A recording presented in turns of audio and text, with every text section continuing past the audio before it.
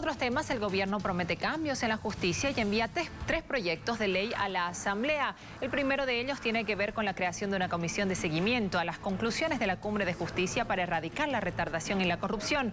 Los otros proyectos tienen que ver con la ley de conciliación ciudadana, la modificación de la ley del ejercicio de la abogacía y la modificación del Código de Procedimiento Penal.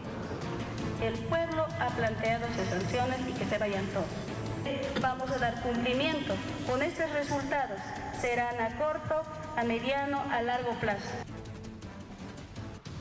Bueno, y están anunciando duras sanciones contra jueces fiscales y abogados que contribuyan a hacer lentos los procesos. Es el origen de la retardación de justicia. Las audiencias suspendidas por ausencia de fiscales, de los abogados defensores o querellantes y hasta de los propios jueces hacen que los procesos sean eternos.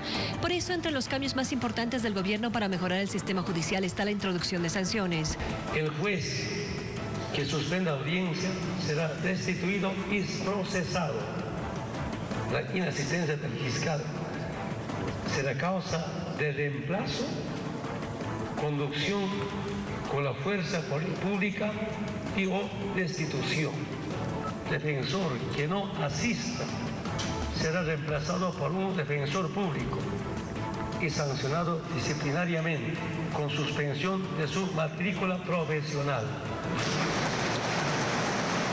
También se prevé la imposición de plazos para los procesos. En el caso de la violencia contra las mujeres, por ejemplo, el tiempo máximo hasta la sentencia de los agresores debe ser de seis meses. Para crímenes, duración del proceso, un año y podrá extenderse por seis meses. Este es para acabar con la retardación de justicia.